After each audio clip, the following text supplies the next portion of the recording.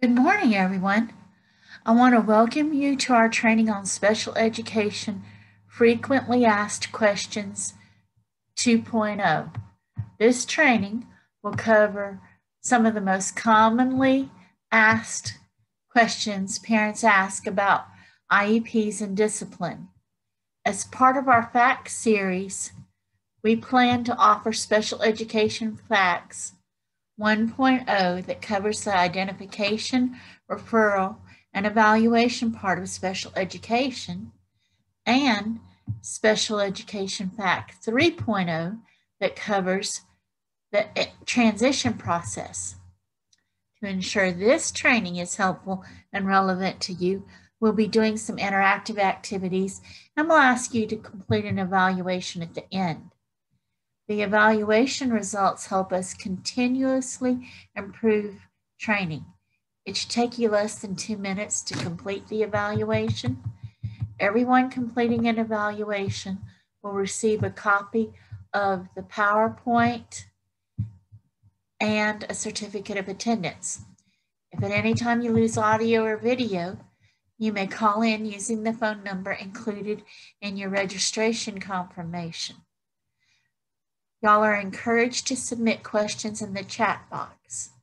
We'll also have question and answer time at the end of the training if you prefer to wait until then.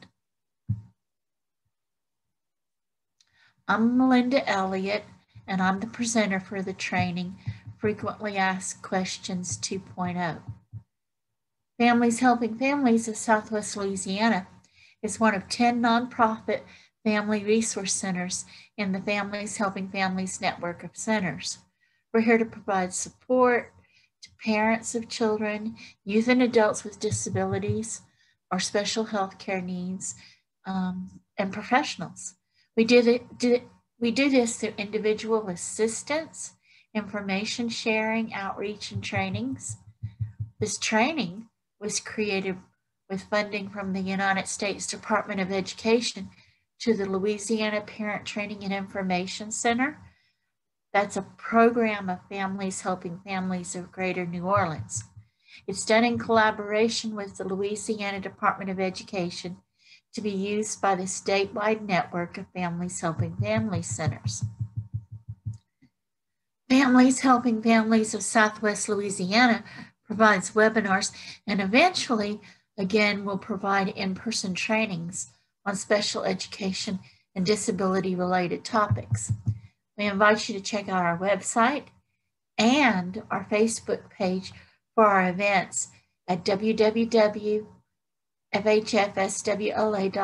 That's our website regularly. And you can register for any upcoming training that might be of interest to you. We invite you to make requests of specific trainings that currently aren't being offered. Chances are, if you're interested in a topic, someone else is too. I'm also the LACAN leader in this area. Um, I cover Beauregard, Allen, Calcasieu, Jeff Davis, and Cameron parishes, just like the Families Helping Family Center of Southwest Louisiana does. Um, LACAN's statewide grassroots advocacy network, which links policymakers, individuals with disabilities, and family members to make positive change in systems serving people with developmental disabilities. LACAN also advocates for policies and systems that support inclusion everywhere people learn, work, live, play, it, it advocates for systems that support children and adults with disability to live in their own home and to be fully included and participating members of their local schools and communities. LACAN leaders like myself provide connection with a regional team of advocates. They provide information on proposed policy changes and how those changes affect you and others. Um, LACAN leaders also provide training and skills to effectively advocate for systems change and support you with linking you to policymakers. Right now, in the legislative session um, that's currently going on, we are working on a $2 per hour rate increase for providers with an $8.65 beginning rate for the DSWs. Those are the direct support workers. If you have a child with a developmental disability and have a waiver or on, or on the waiver waiting list, you have access to that type of service. We're also working on a increased funding for the Families Helping Family Centers. Um, and then we have a senator that has offered a bill for cameras in the special education classroom for students that um, typically aren't verbal or aren't very verbal. So parents have peace of mind about their child. If you're interested in any of those issues, and you go to www.lacan advocates, that's all one word with an S on the end, dot .org, you can sign up. You're basically signing up to get the emails. Of course, the emails talk about the issues and about contacting your legislators, different ones at different times, and we hope you'll take the action. Some people will even be interested in telling their so- stories. I have lots of opportunities for parents to talk about how things work for them or what things would help um, people with disabilities. So please go sign up. So we're going to start with a quick icebreaker. I want to check my mic to make sure y'all can hear me. The icebreaker question is, where would you like to travel? So I want you to type your answer in the chat box. I like it when I see people interacting and asking questions in the chat box. It makes the presentation more interesting. Um, so I'd like to go to Rhode Island. Um, I've been various places in the United States, um, but I think Rhode Island or maybe the Grand Canyon. Um, have any of y'all been there? So um, let me check the chat box. Oh, so somebody wants to go to Colorado to visit their sister. Cool. I have been to Colorado. Have y'all?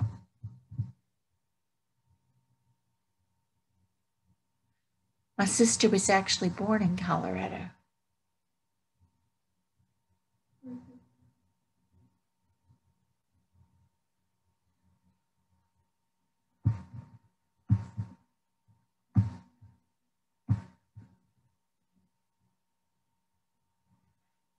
Somebody said that they had passed through Colorado. Colorado is a pretty place, it's colorful. Okay, well, we'll just go ahead and go on. And like I said, y'all can type things into the chat box as you need to or as you want to. So we want to make sure this training is useful to families. And one of the ways we do that is with a check-in process. I'm going to launch a check-in poll Actually, Wallace is helping me today. Wallace is going to launch the check-in poll. I forgot to tell y'all. Um, the, and thank Wallace for helping me today. Um, the check-in poll has a series of eight true or false questions. All you need to do to answer these questions is use your keyboard and, or mouse to answer. I actually won't know how each of you answer individually. I'll know collectively as, as a group how you answered. So let's get started. True or false? IEP meetings are limited to 60 minutes at a time. If more time is needed, the meeting can be reconvened. And remember, you have to scroll down to be able to see all the questions. Two, true or false? Parents do not have to attend IEP meetings.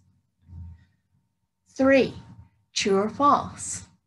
I have to pick up my child every time the school calls and tells me to pick him or her up from the school. Don't forget to scroll down. Four, true or false, students with an IEP cannot be suspended. Five, true or false, school districts cannot charge any fees for a child with an IEP. Six, true or false, a school district must offer an IEP that is reasonably calculated to enable a child to make progress. Seven, true or false, a school does not need parental permission to make minor adjustments to the IEP. Eight, true or false, the Louisiana IEP Guide is referred to as Louisiana Bulletin 1706. So I'm going to give everybody a few more minutes to finish the poll.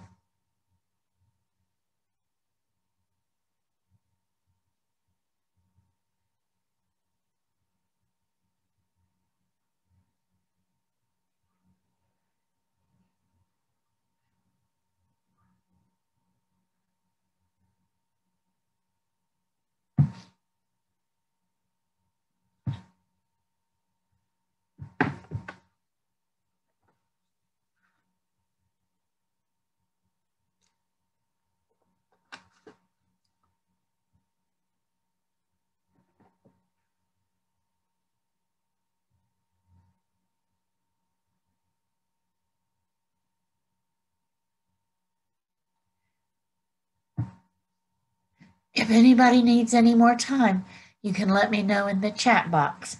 We're just going to do a few more seconds.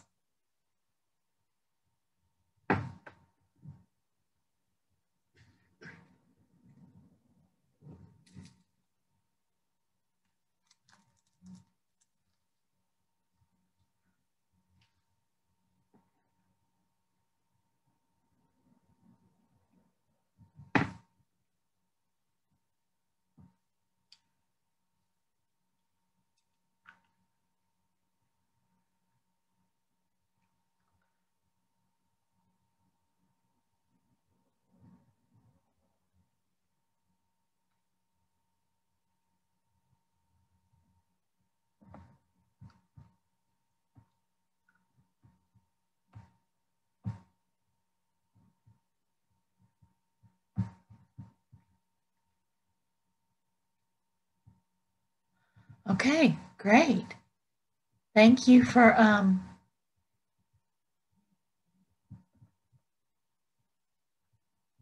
doing the poll.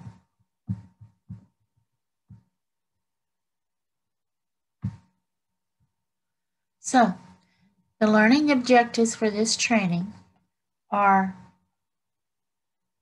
to provide you a list with commonly used acronyms and terms, to answer frequently asked questions about IEPs, to answer frequently asked questions about behavior and discipline, to answer frequently asked questions about COVID 19, and finally, to provide you with some resources on where to find answers to these frequently asked questions and more.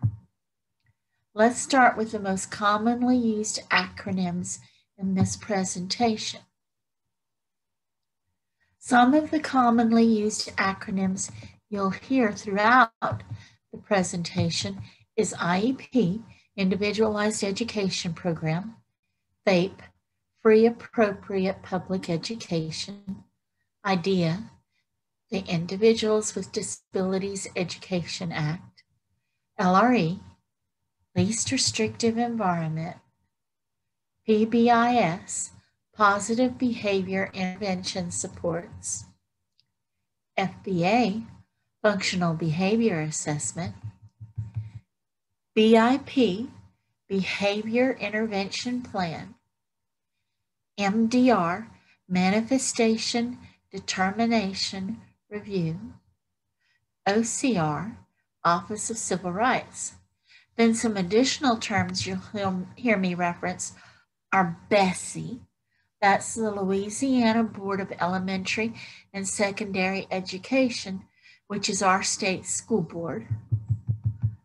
Bulletin 1706, the Louisiana Regulations of the Children with Exceptionalities Act. This is Louisiana's regulations for the Individuals with Disabilities Education Act.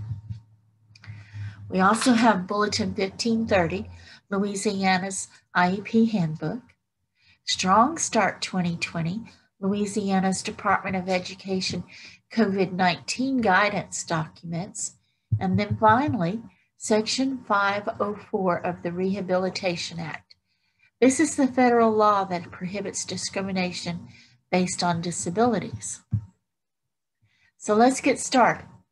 My first fact is how do I prepare for my annual IEP meeting?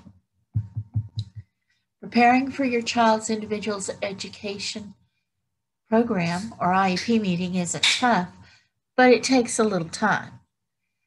This will be time well spent if you go into the meeting organized. If your child has been receiving any outside help for school as a like a tutor or therapist, ask them for their input. You could also talk to your child's teacher about what seems to be working or not working and any thoughts he or she might have. Of course, if your child can communicate, find out their feelings about school. That can give you valuable information. Review your child's current IEP goals. Review their progress reports and see how close they are to meeting these goals. If you're not sure, ask the teacher those questions before the meeting. Your child should be making great strides in meeting the goals or coming close to meeting them. If they're not, you should be very concerned and question why the IEP team hasn't reconvened sooner. IEP team meetings must be held once a year, but you can have an IEP meeting more frequently if you need it. A good reason to hold one more frequently is when a child isn't making progress towards their goals. Reread your most recent evaluation. Every time you read it, you're going to get something new from it or something new will pop out at you. If it's your first IEP meeting, make sure you receive your evaluation in advance of your I, first IEP meeting, a draft evaluation, and have enough time to read and understand it if you had your IEP determine uh, your evaluation determination meeting, you should have a final copy of the evaluation so you can read it again. There's just lots of information in there. The IEP has block. The IEP itself has a block for parent concerns. Make sure you make a list of your concerns to be added to the IEP. Those are your concerns. So don't agree not to include them if this, somebody on the team says something like, oh, we're, we're addressing that. So like if your concern is your child isn't reading on grade level and the teacher says the reading interventions interventionist is working with him or her, so that doesn't need to be a concern. You want to include a statement like, quote, even with the support of a reading interventionist, I'm still concerned about my child not reading on grade level, unquote. Um, that's your box. You want to include your concerns. You want to go to the IEP meetings with a list to discuss. So the list should be in two columns. One is non-negotiable. So that's things that are FAPE related. Then the other uh, list might be negotiable. Those are things that are non-FAPE related that's gonna would be nice to have, but not necessarily required by law. So the next fact question. Who must be in attendance at the IEP meeting? Bulletin 1706 is the regulations for implementation of the Children with Exceptionalities Act. So those are Louisiana's regulations to ensure IDEA, the Individuals with Disabilities Education Act, are being followed. 321 of Bulletin 1706 requires the school district shall ensure that an IEP team for each student with a disability includes one or both of the parents of the student. So there might be different ways the parent can participate, um, but they're supposed to be invited. They have to be invited. Not less than one regular education teacher of the student. If the student is or may be participating in the regular education environment, and I don't know why a student wouldn't be in some regular education class. Um, the third person would be one special, uh, one not less than one special education teacher of the student, or where appropriate, not less than one special education provider of the student. So I'm thinking about children that have speech only IEPs. Then you're going to need that speech therapist is part of the IEP team. The fourth person should be what we call the ODR, the officially designated representative of the school district who's qualified to provide or supervise the provision of specially designed instruction to meet the unique needs of students with disabilities, and who is knowledgeable about the general education curriculum, and who is knowledgeable about the availability of resources in the school district. Five, and some of these roles might, the same person might fulfill more than one of these roles. But the fifth person is an individual who can interpret the instructional implications of evaluation results. And then, at the discretion of the parent or the school district, is other individuals who have knowledge or special expertise regarding the student, including related service personnel as appropriate. And then, whenever appropriate, the student with a disability. If the student's transition age, that's 16 or over, the school district will invite the student with a disability to attend her, his or her IEP meeting. If the student does not attend the meeting, the school district shall take steps to ensure the student's preferences and interests are considered. Next fact is the school required to give me advance notice for an IEP meeting. Again, 322 of Bulletin 1706 requires the school district to take steps to ensure that one or both of the parents of the student with a disability are present at each IEP team meeting or afforded the opportunity to participate.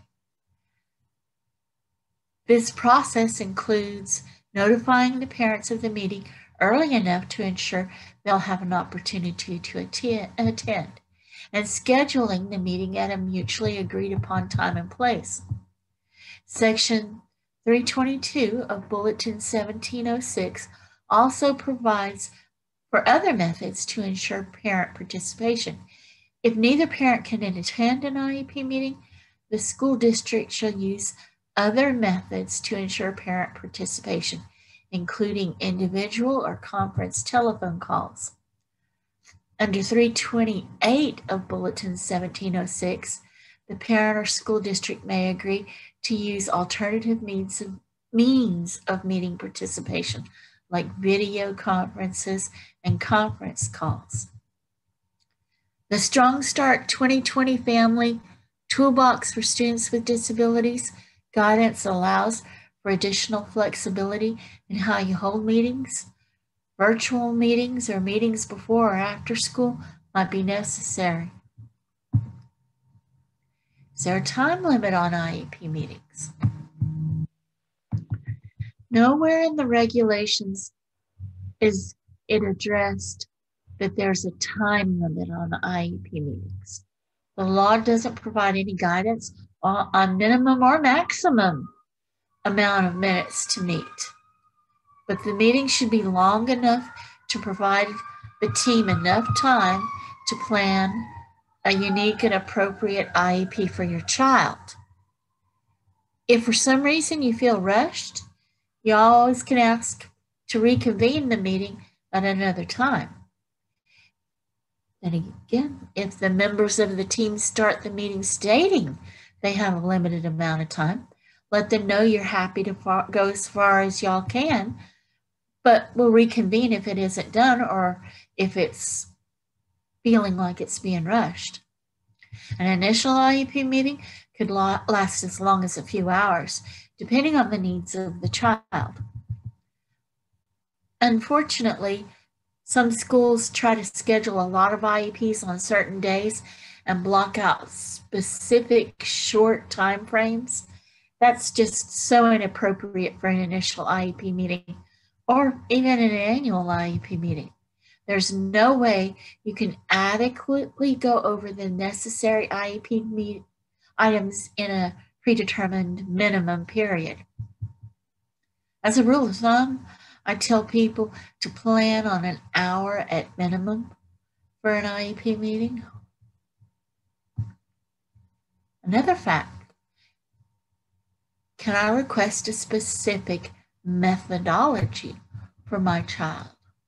So Short answer is no. But, well, no, the IEP doesn't give parents any rights around methodology schools choose to use. But if your child is not progressing with the methodology being used, the IEP team needs to reconvene and determine what, what methodology will be used next. The IEP team should always be checking, monitoring for progress. And if the child's not making adequate progress, progress, they need to revisit how they're teaching the child. If you know about a specific program or curriculum, curriculum methodology that's been successful with your child and your child's not making adequate progress with the methodology being used at your school, I'd recommend having your request added to the parental concerns part of the IEP. Remember that specific box. If your child isn't making adequate progress and the school refuses to use the methodology of your choice, having it added under parental concerns will then give you a permanent record of your request, and the school will need to provide you with prior written notice stating why they refuse to do it. Both of these things are going to be powerful evidence in the event you decide to pursue any future action. So we're going to do a little poll. Um, this is the first one. I'm going to launch, or Wallace is going to launch the poll. So the question is, does the parent have to participate in the IEP meeting? Your choices are if the parent refuses to attend the meeting, the school must assign a surrogate parent to attend. The next choice is no. The school cannot hold an IEP meeting without a parent. The third question, uh, uh answer, possible answer, is a meeting may be held without a parent in attendance if the school district is unable to convince the parent to attend.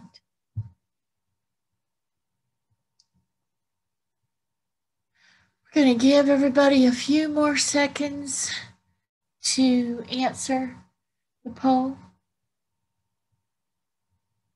And I believe, if I remember correctly, we're going to look at the answers to this one. Like I said, nobody's going to see any one person's answer, though we just let's see like everybody's answer. Okay, so let's end the sucker and share the results. Okay. So 25% of us said if the parent refuses to attend the meeting, the school must assign a surrogate parent.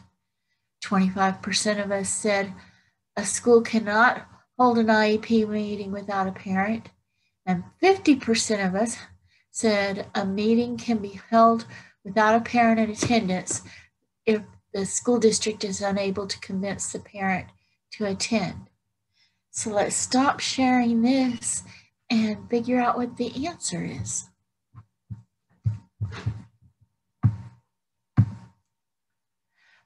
The correct, correct answer was C. In section 322 of Bulletin 1706, under parent participation and conducting an IEP meeting without a parent in attendance, a meeting may be conducted without a parent in attendance if the school district is unable to convince the parent they should attend. The district has to keep a record of its attempts to arrange a mutually agreed upon time and place. Those records can be detailed records of telephone calls made or attempted and the result of those calls, or copies of correspondence sent to the parents and any responses received, um, and detailed records of visits made to parents' home or employment and the results of those visits. It's important to remember that if the parent meets without the parent and it's the first IEP meeting, the parents still have to sign the IEP before services can be started. That's what happens with the initial IEP meeting.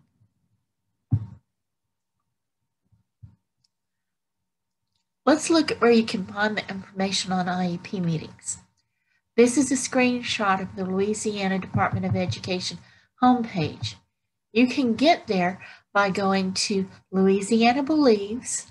It's all one word with an S on the end.com. And you're going to be able to see some of these things when you get your copy of the PowerPoint.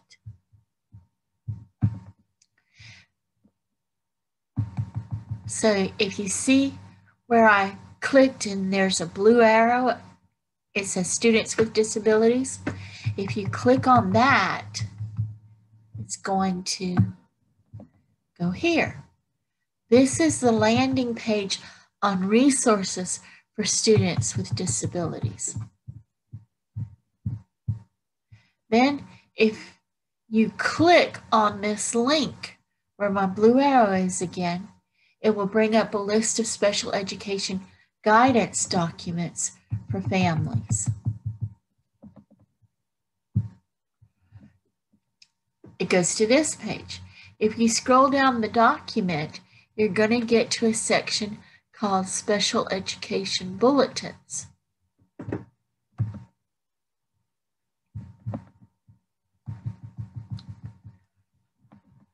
So you can see where I have a blue arrow again by Bulletin 1706. You're now at the Louisiana Board of Elementary and Secondary Education Policies and Bulletins page.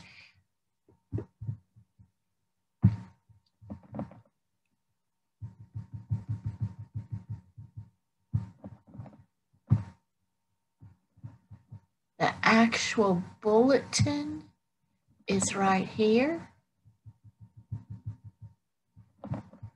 Let's look at that a little bit. This is the table of contents on the bulletin. Then you go down to chapter D on page 30.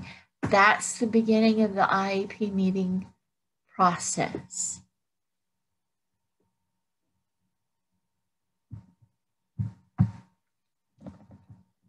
This is the, when you click on it, this is the page 31 of Bulletin 1706, section 322 is where parent participation starts. Bulletin 1706 is big and can be overwhelming if you ever try to sit down and read it and find a specific section. However, Bulletin 1706, along with most of the state bulletins, are downloadable into a Microsoft Word document that allows you to use the word navigation bar in the document to find specific words. When you type in that navigation bar, bar word's going to give you a list of everywhere that word is used in the document. Okay, let's go back to our FAQ questions. Do I have to pick up my child every time he has a meltdown? When a school calls for you to pick up your child, you need to ask, are they sick? If the school says no, then you need to ask why you are picking them up. If it, they say it's because he's having a bad day, you ask, are they being suspended? If they say no, you need to tell them you won't be picking them up. They have an IEP, so they should have a behavior plan for them to follow. If they don't, then request an IEP meeting to set up a positive behavior intervention plan. And notice I said positive behavior intervention plan. If they insist you pick up your child, you can do one of two things. You can either refuse or require them to do an official suspension. Sometimes schools make it sound like they're doing you a favor by calling it just a cool off day, it's not a favor. There are very specific rules around about suspensions for students with disabilities. This is why you want all cool off days marked as suspensions. There's no limit to how many cool off days they can use. A lot of times we hear stories like the school said they'll call the police if they don't if we don't come and pick them up. Don't panic. Let them know you consider this to be a violation of your child's rights. And rather than call the police, why don't they just suspend him and then you'll come pick him up? Sometimes we parents like us get calls from office clerks or discipline staff who are not aware that the student has an IEP. If you think that's what's going on, you want to ask them if the special education teacher is aware of the suspension and ask that, them to get the special education teacher to call you. Then you give that person the same information. You give that teacher the same information. Another FAQ question What is a school's responsibility for handling continuous behavior issues? So let's see. If your child's behavior prevents him or other children from learning, the IEP should include goals to address those problem behaviors. The team needs to consider positive behavior intervention supports. That's PBIS. Sometimes I see it as PBS, but remember it's positive behavior intervention supports and other strategies to uh, change the child's behavior. Research demonstrates that PBIS and supports are effective in dealing with behavior that's dangerous, disruptive, impedes learning, and leads to social exclusion. Students exhibiting continuous behavior issues should have a functional behavior assessment. That's an FBA, which identify which will identify the purpose of the behavior. Data will be collected and analyzed by observing the child in different settings. The data should identify the behavior that needs to change. Then a hypothesis um, is made about the reason for the behavior, and interventions are developed to help change the behavior. Those interventions then need to be tracked and evaluated for if they're being effective or not. A behavior intervention plan, a BIP, needs to be created for any child with continuous behavior problems. The plan should address skills training to increase appropriate behavior, changes in the classroom or other environments to reduce or eliminate problem behaviors, and strategies to replace problem behaviors with appropriate behaviors, and supports for your child to use the appropriate behaviors, and then data collection to monitor your child's progress. Another question, can my child be suspended if he or she has an IEP? School personnel may remove a student with a disability who violates a code of student conduct from his or her current placement to an appropriate interim alternative educational setting or suspension for not more than 10 school days to the extent those alternatives are applied to students without disabilities. And for additional removals of not more than 10 consecutive days in that same school year for separate incidents of misconduct, as long as those removals don't constitute a change of placement. If a student with a disability has remo been removed for his or her current placement for a total of 10 cumulative school days in the same school year, then the school district has to provide services to the extent required during any subsequent days of removal.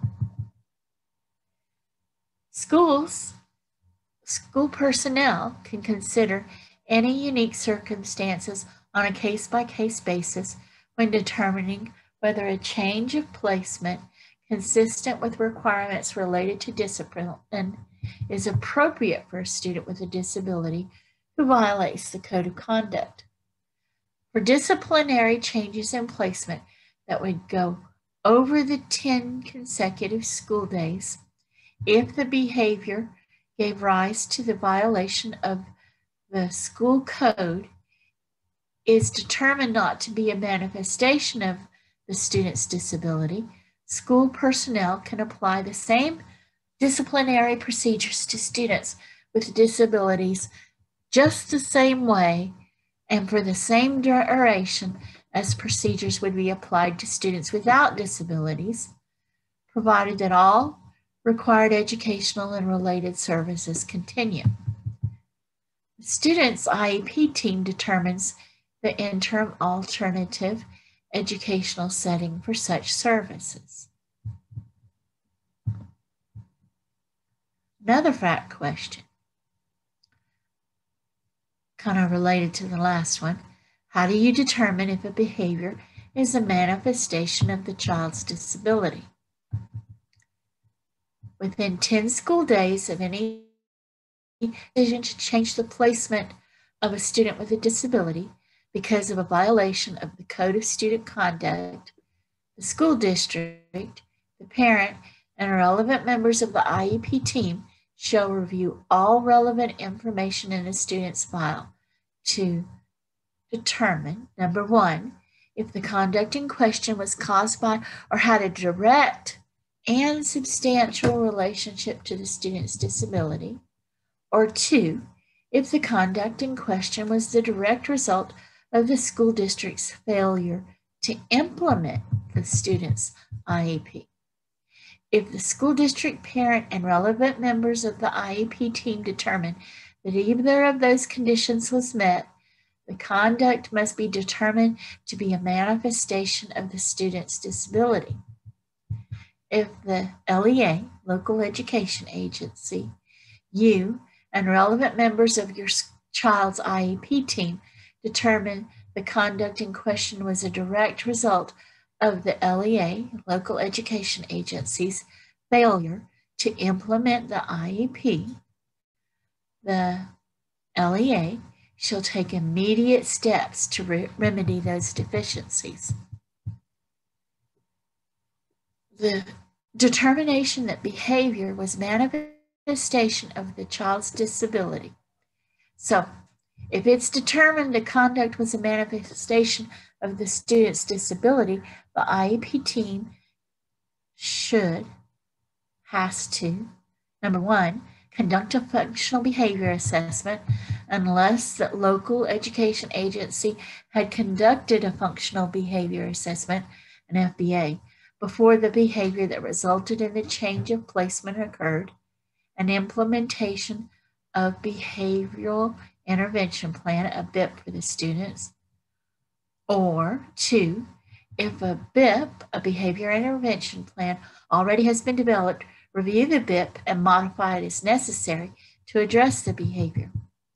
The school district must return the student to the placement from which he or she was removed.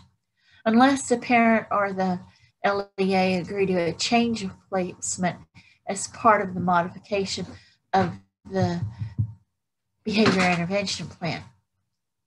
However, there's special circumstances that are an exception to this. School personnel can remove a student to an interim alternative educational setting for not more than 45 school days without regard to whether be, the behavior is determined to be a manifestation of the student's disability if one, student carries or possesses a weapon at school, on school premises, or at a school function under the jurisdiction of the Louisiana Department of Education or the local education agency. Two, knowingly possesses or uses illegal drugs or sells or solicits the sale of a controlled substance while at school, on school premises, at a school function under the jurisdiction of the Louisiana Department of Edu Education or school district. Or the number three has inflicted serious bodily injury upon another person while at school, on school premises, or at a school function under the jurisdiction of the Louisiana Department of Education. So another question. What is a change of placement due to disciplinary removals?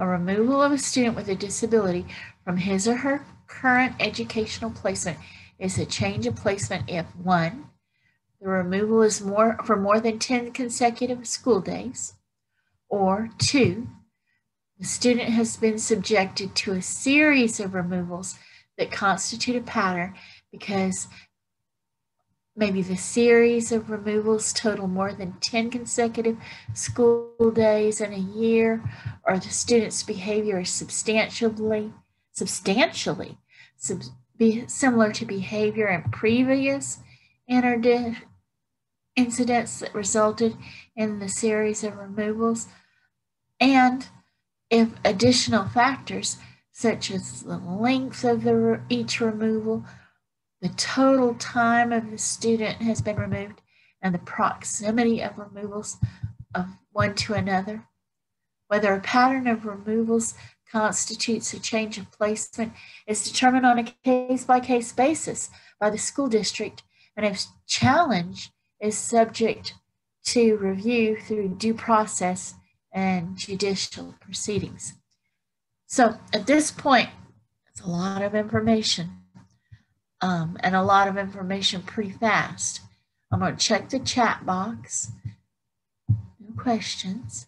Okay, if you have questions, you can still put them in the chat box or save them to the Q&A at the end.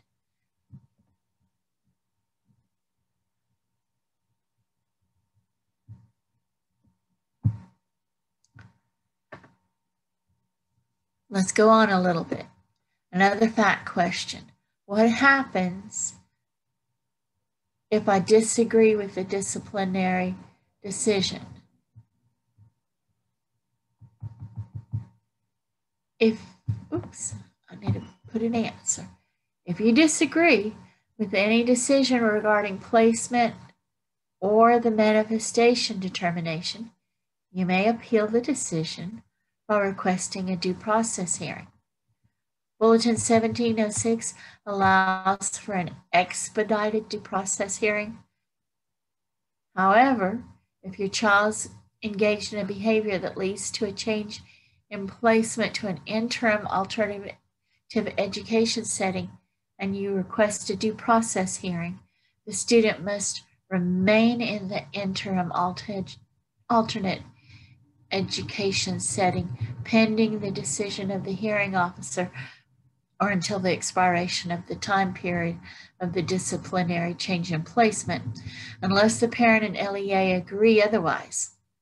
Of course, if the behavior is determined related to the child's disability, then no disciplinary action taken can be taken as a result of that behavior.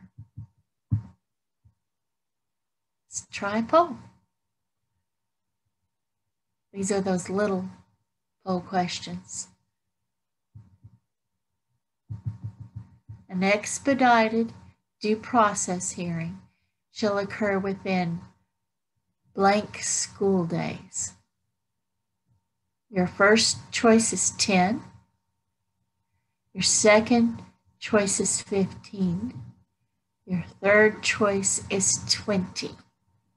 So I'm going to give everybody a few seconds to answer. An expedited due process hearing.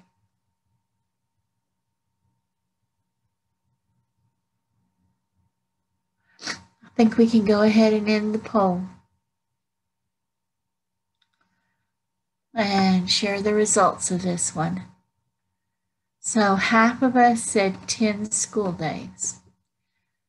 One of us, 25% said 15 school days, and 25% said 20 school days.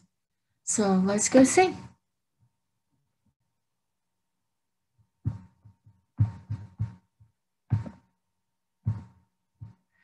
The correct answer is C again.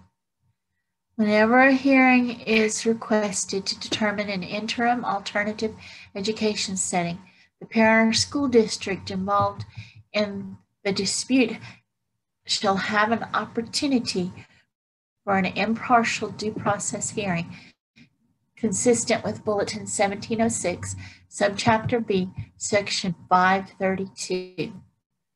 The Louisiana Department of Education shall arrange for the expedited due process hearing, which shall occur within 20 school days of the date the request for due process hearing is filed.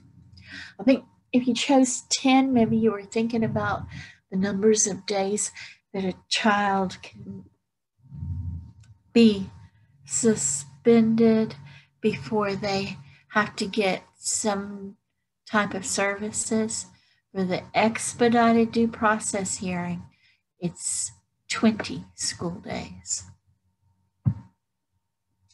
Cool. Let's go take a look at where you can find the information on discipline. Again, this is a screenshot of the Louisiana Department of Education homepage. You can get there by going to louisianabelieves.com. You see where my blue arrow is again? You're going to see on that homepage where it says students with disabilities. If you click on that, this is going to it's going to bring you to this, the landing page for students with disabilities. If you click where I have the blue arrow on that page, it's going to be a bring you a list of special education guidance documents for families. One of the documents in here is listed, the, in here as a resource is the Louisiana Educational Rights of Children with Disabilities. You'll also notice this document comes in English, Arabic, Chinese mainland, Chinese Taiwan, French, Spanish, Urdu, and Vietnamese. So the guide was developed by the Louisiana Department of Education to help parents navigate the complex system that oversees special education in Louisiana's public schools. Each school year, the school districts are required to give you a copy of the procedural safeguards. That handbook is notice of the procedural safeguards. Those safeguards are to inform us of the support services and protections offered by the local public school district. A copy of the procedural safeguards should be given to you once a year, and upon initial referral or at your request for an evaluation, and when a decision is made to take disciplinary action that results in a change of policy making, and the first time you file a state complaint in the school year, and the first time you request due process hearing in the school year, and when you ask for a copy. The procedures when disciplining children with disabilities begins on page 20 of the document. If you'd like to read the discipline regulations, you can also go to Bulletin 1706. The discipline regulations start on page 46 of subchapter B in Bulletin 1706. Back to our questions. What is FAPE? FAPE is an acronym for Free Appropriate Public Education. When Public Law 94 142 was enacted way back in 1975, it required states submit plans that assured all students with disabilities the right to a free, appropriate public education. IDEA, the Individuals with Disabilities Education Act, defines FAPE as special education and related services that are provided at public expense, under public supervision and direction, and without charge, and meets the state, state standards, and includes preschool, elementary school, or secondary school education in the state, and are provided in conformity with the individualized education program. Today, IDEA requires all states demonstrate that they have an effect a policy that ensures all students with disabilities the right to a free appropriate, appropriate education. A free appropriate public education must be available to all children residing in the state between the ages of 3 and 21, including children with disabilities who have been expended, suspended or expelled from school. Notice it says, including children with disabilities who have been suspended or expelled from school. Another FAQ question Does free mean the school cannot charge me for anything? I get that question all the time. The free in FAPE means school services must be provided at public expense under public supervision and direction without charge. Uniformly assessed fees are permissible. So a fee for a service may be charged only if it's a fee for all the students in the school. The term at no cost doesn't preclude incidental fees that are normally charged to students without disability and their parents as part of the regular education program. So those fees that everybody pays in the beginning, as long as everybody is supposed to pay them, then students with disabilities are supposed to pay them. What does appropriate mean?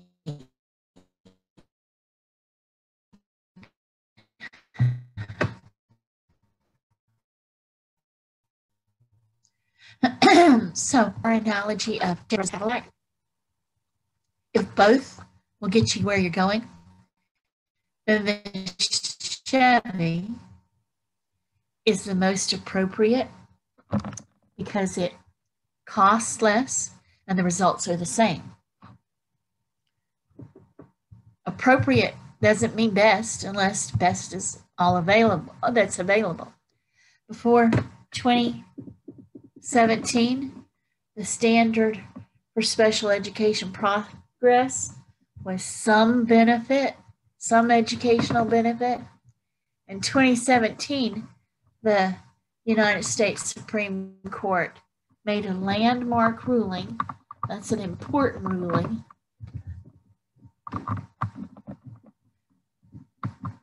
Which changed the long standing some educational benefit standard to a ambitious in light of his circumstances. That's a direct quote. Appropriately ambitious in light of his circumstances. The court wants every child to have a chance to meet challenging objectives. To meet its substantive obligation under IDEA, a school district must offer an IEP reasonably calculated to enable a child to make progress appropriate in light of the child's circumstances. That court ruling is called the Endrew F. Standard. Some of the ways a school can make sure goals are appropriate include to conduct, uh, to conduct complete, thorough, meaningful assessments that include observations in multiple settings, as well as thoughtful analysis of students' needs. Assessment should drive the, and does drive the IEP. The school systems can develop IEP goals that are appropriately ambitious based on the student's unique circumstances. So the same IEP goals should never be written over and over. Then progress reporting is required. If the student isn't making progress, the IEP team can reconvene and address the lack of progress, perhaps by changing the goals or services. The local education agency should document a thoughtful and well established plan in the IEP, which shows consideration of unique circumstances and be appropriately ambitious in the development of the FAPE free appropriate public education offer. IDEA does not have a specific definition of the meaning of appropriate. The lack of a specific definition of appropriate education in IDEA has led to lots of disagreement between parents and schools about what constitutes an appropriate education for a particular student. It's what led to several landmark legal cases, the most recent being the Endrew F. case being heard in the United States Supreme Court. In that Endrew F. decision, the court clarified that for all students, including those performing at grade level and those unable to perform at grade level, the school must offer an IEP that's reasonably calculated to enable a child to make progress in light of the child's circumstances. It's pretty powerful. Another FAQ question How do I know if my child is benefiting from his or her educational program? Probably the clearest evidence that the educational program is not providing the educational benefit is the child is not progressing educationally or even actually regressing in the present educational placement. Under IDEA, the Individuals with Disabilities Education Act, an appropriate education enables the child to make progress in the general curriculum as well as advance towards IEP goals. Monitoring IEP goals should be the first indicator if your child is making progress or not. At all review IEP meetings, the first thing you should discuss is the progress made towards the current goals. Section 14C5 of the Individuals with Disabilities Education Act specifically states, and this is a quote, almost 30 years of research and experience has demonstrated that the education of children with disabilities can be more effective by strengthening the role and responsibility of parents and ensuring that families of such children have meaningful opportunities to participate in the education of their child at school and at home. End quote. So, some of the examples of how you can participate is to review your the homework your child is completing. Can they do it on their own? Do they need some extra support? Does it match up with the IEP goals and what you think your child should be doing or what other kids your child's age and grade are doing? You can also review grades regularly. Many schools offer online portals for parents to see up to date grades. Ask how the classwork lines up with state standards. You can go to the state standards on the Louisiana Department of Education website and see them for a subject and a grade um, level.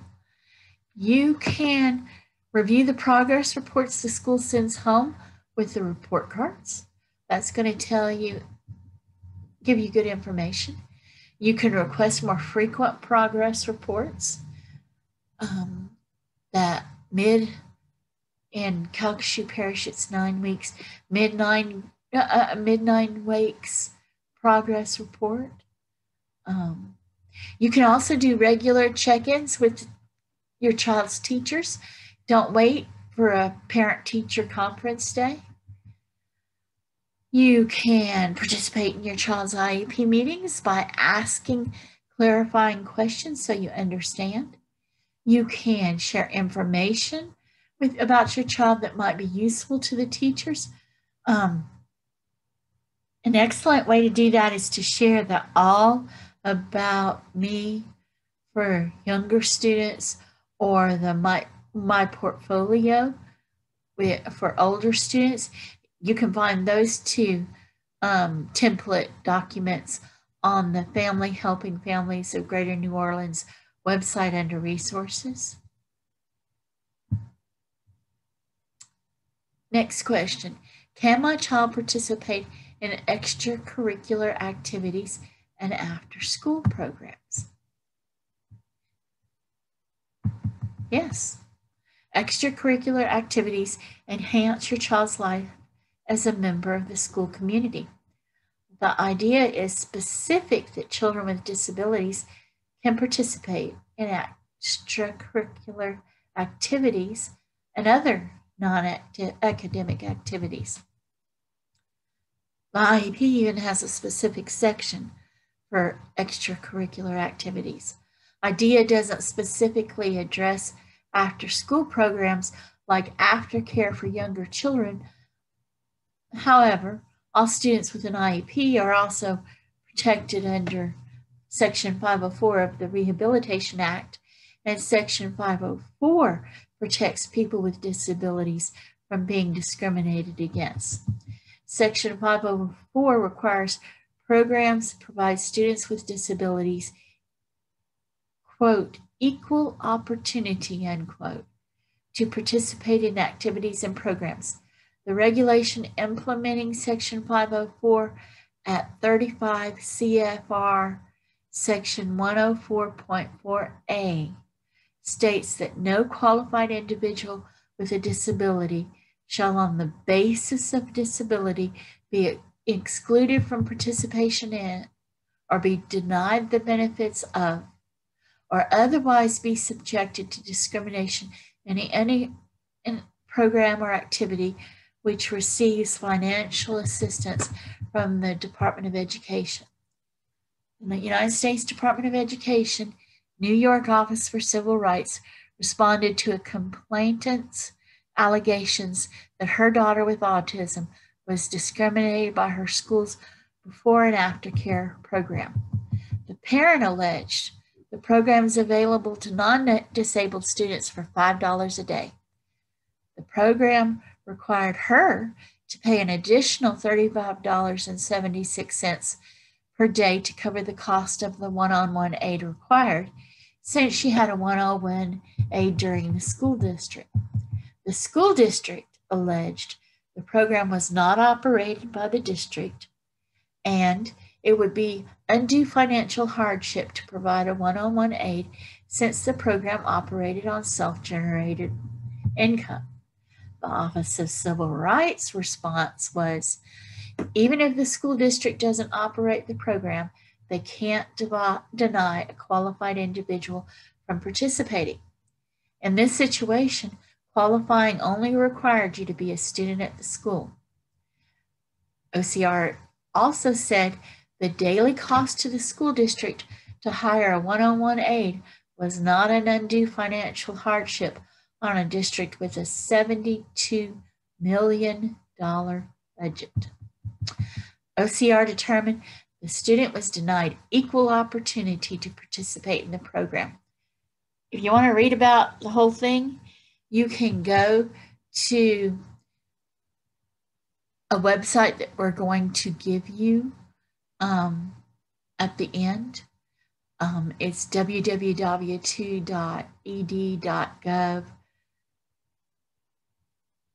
backslash about backslash offices list offices OCR. Yeah, it gets complicated. If you need it, let us know.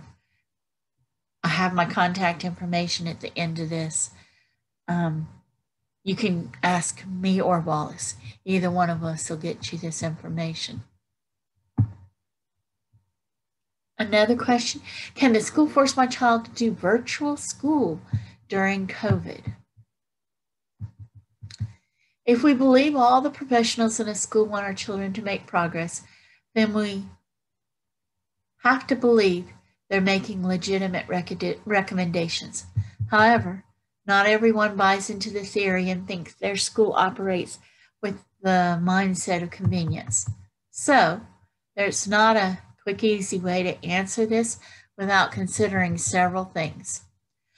If the governor closes schools, then yes, your school can force your child and every other child on their campus to a distance learning options, which means they'll incorporate asynchronous and synchronous instruction virtually. The Louisiana Department of Education has created school reopening guidance, but ultimately gives most of the authority to the local school districts to create their policies using the recommendations from the Louisiana Department of Health and the CDC. So, depending on your school's policies and numerous factors that played into those policies, will depend on if the school can force your child into a virtual option. If the schools have reopened and had a positive case of COVID diagnosed, then that's going to play into the scenario.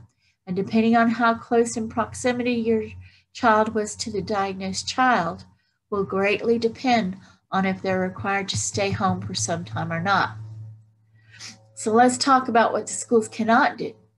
A school can't just arbitrarily make a policy that says all students with disabilities must or must not blank. And you can fill in the blank. If the school provides virtual options for all regular education students, they need to provide the virtual option for students with disabilities.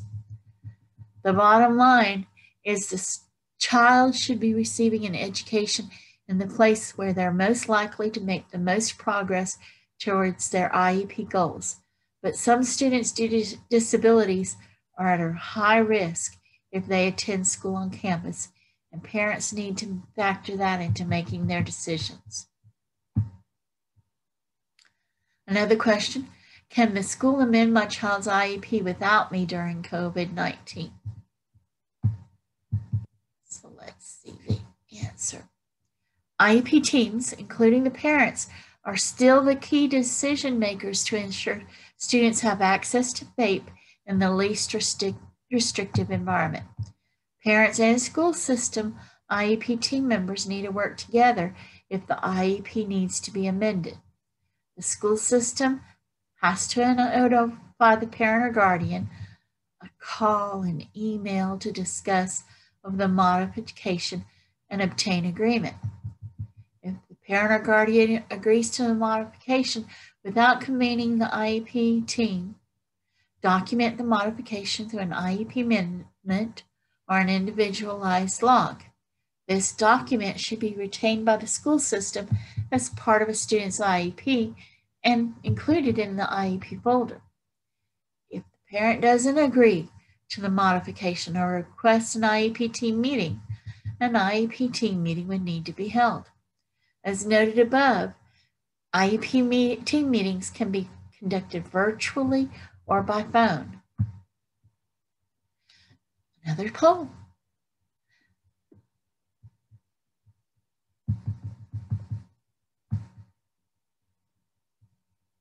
Let's see if we can launch this sucker.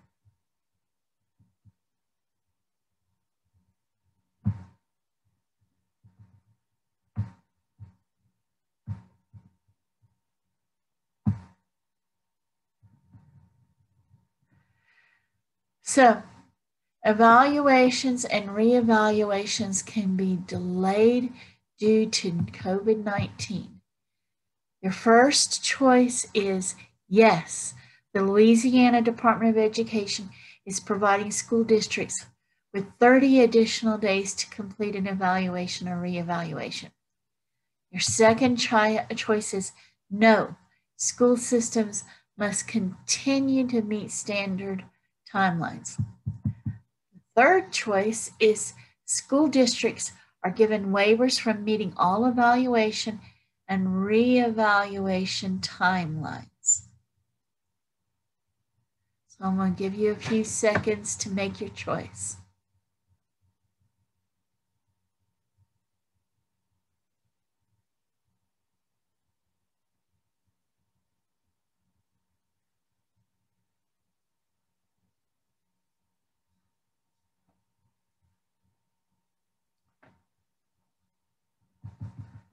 Give it a few more seconds.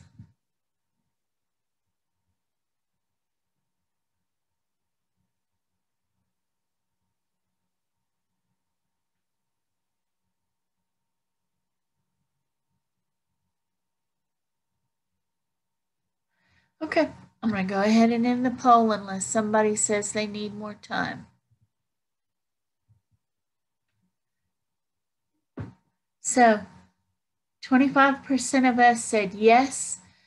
The Louisiana Department of Education is providing school districts with 30 additional days to complete an evaluation or reeval.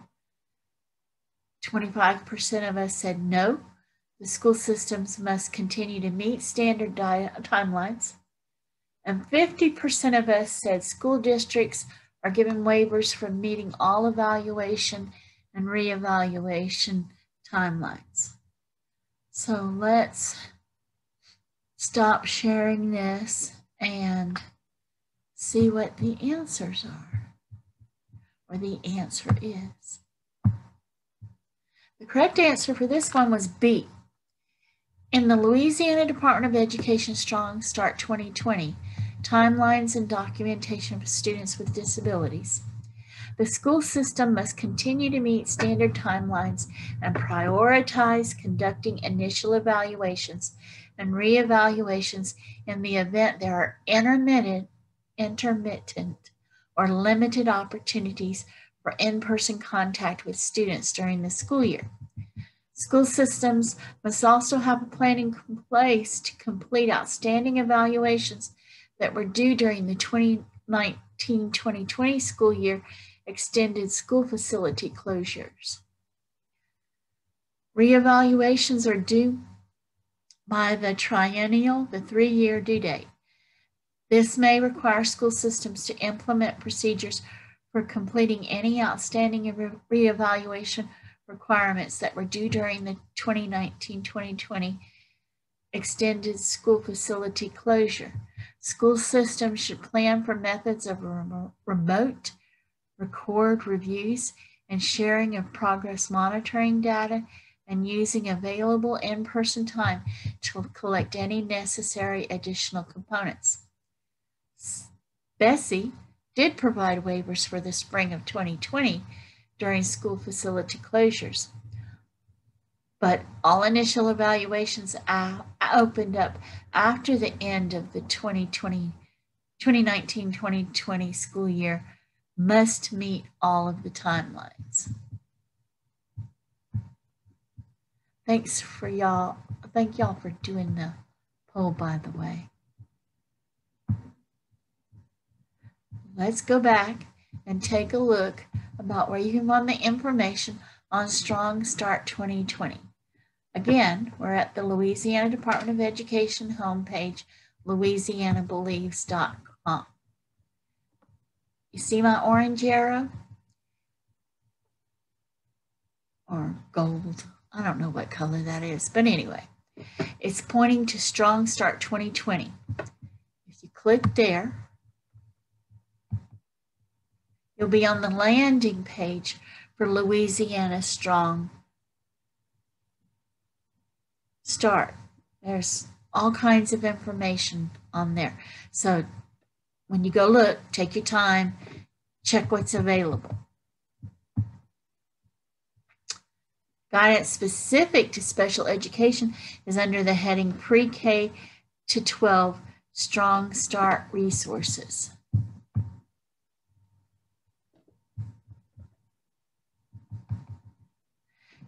So you see the blue arrow? All special education guidance is located in the section that says students with diverse needs. Two of the documents I find most useful to parents are first the family toolbox and section the Strong Start 2020 times and documentation. I just find all kinds of stuff in there. So I think that one was the family toolbox, and that one is the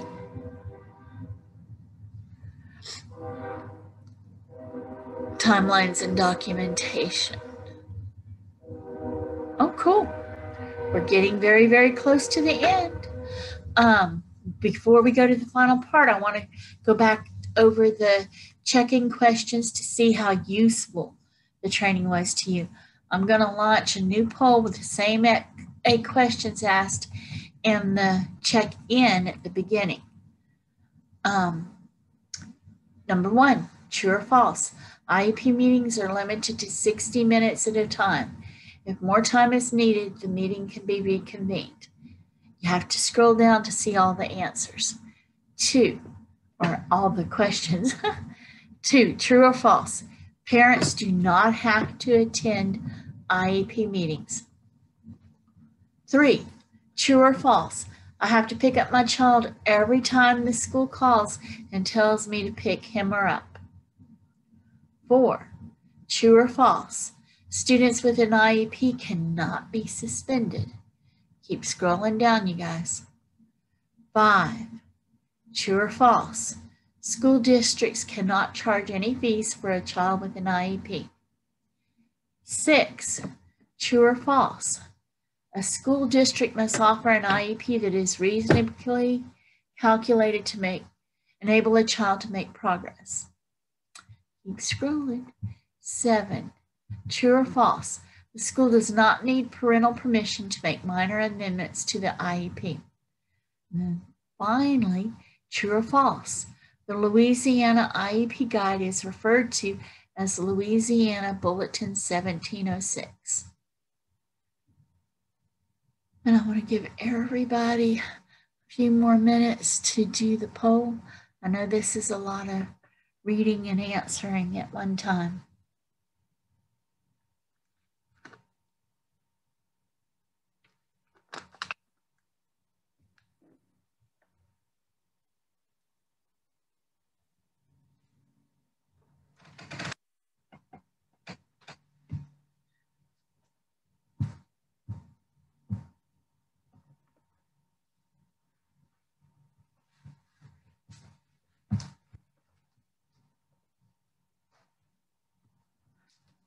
Just a few more seconds unless you chat me up and tell me you need more time.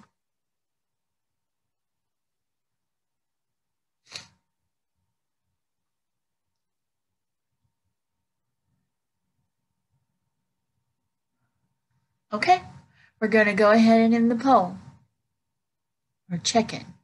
Check out. Either way. And let's, let's wrap it up. I know you're wondering about the answers to the questions, so let's go over them really quickly. IEP meetings are limited to 60 minutes at a time. That's false. We went over that. 60 minute, a minimum of 60 minutes is a good practice. Might take longer than that. Some of them will. Um, parents do not have to attend IEP meetings. That's true. They can get your, the school system can get your input other ways.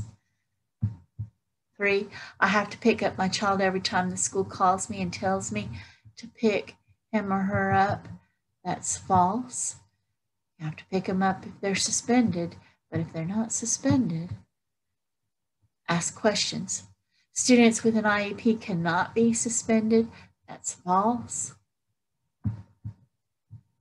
Let's go to the next page. School districts cannot charge any fees for a child with an IEP. That's false. They have to provide the special education programming free, but if other kids are paying fees, yours has to pay a fee. The, a school district must offer an IEP that is reasonably calculated to enable the child to make progress. That's true. The school does not need parental permission to make minor uh, amendments to the IEP. That's false. They can call you about it, and then it's up to you to say yes, and they're supposed to keep documentation, or no, and they're supposed to have an IEP meeting. Let's see. The Louisiana IEP Guide is referred to Louisiana Bulletin 1706. That's false. Refer to your acronyms. When you get this PowerPoint, refer to your acronyms slide at the beginning. It's going to tell you what each one of the bulletins that we talked about today um, do or their purpose. So here's a list of resources we've mentioned today in the training. We're going to provide links to those resources and the information you receive after you do your evaluation. If you need more support on your parental rights or other education issue, you should contact us at 1-800-894-6558 toll free. Or if you're in Lake Charles, call us locally at 1 337 436 2570. Um, you're welcome to email us at info at fhfswla.org.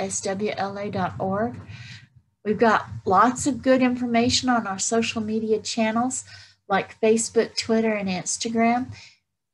Please follow us, like us, share our posts, retweet us, whatever it is that you do on whichever one. Our website's a great source of information. You can be added to our newsletter list and find other great resources at www.fhfswla.org. So let me check real quick. Wallace is posting the link to the evaluation, so check the chat box for the link. Um, please do the evaluation on the training. Um, you're going to get, when you we shut this down, when you shut this down, it's you should see an evaluation on your screen right, right away. And Wallace is going to email you um, a link to it. That information we get from the evaluation helps us improve all of our training. Everyone that registered and complete the survey will get a copy of the PowerPoint and a certificate of attendance. Let's see.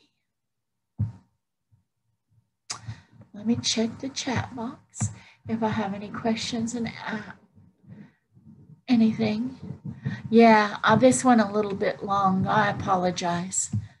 Some of these go, just go a little bit longer.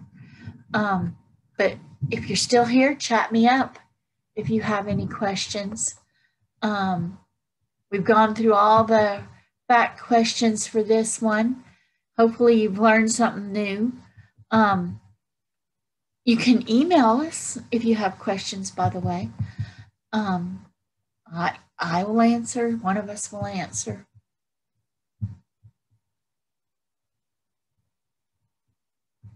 Let me check one more time and see if we have any um,